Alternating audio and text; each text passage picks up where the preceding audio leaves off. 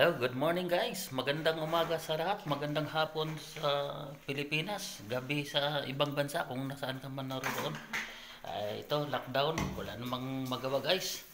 Kaya ito, sinubukan kong magluto ng, ayan oh, ah, first ah, cook.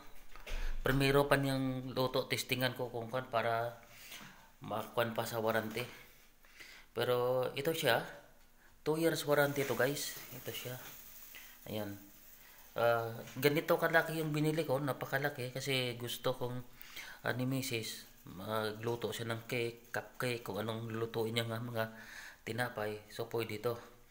Yung problema nito, pag doon to sa Pinas, parang ang kurente nito nagmaraton. Pero di bali kasi may na-idea na ako kung paano ah, hindi makakonsume ng kuryente. Ayan. So ngayon, try ko siya. ah, 60 ah, 60 minutes. 60 minutes. Yung timer, tingnan ko kung maluto. Ah, tapos, yung temperature niya is 200. So, ilang minuto pa ang nakuha nito. Ayan, 20 minutes pa yan. Ang pagkakuan pero medyo mapula-pula na siya guys. Ayan. Ah, maganda yung ano. Ayan.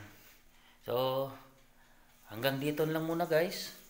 Ah, maraming salamat sa inyong pagpanood. At sa hindi pa nakasubscribe dyan, please subscribe.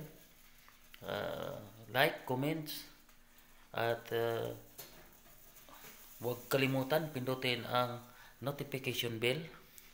Ayun, para updated ka palagi sa ah, mga videos kong i-upload araw-araw. So, dahil wala akong internet guys, nabuboring ako. Kaya nag-standby yung dalawa. Ayan, nakabukas lang pero internet full siya pero ayan, full. Full, wala namang ano, naka-limited. Ayan. So hanggang dito lang muna guys. Maraming salamat sa inyong pagpanood. Hanggang sa muli. Bye-bye.